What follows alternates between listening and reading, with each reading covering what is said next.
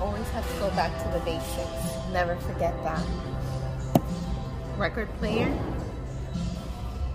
vinyl,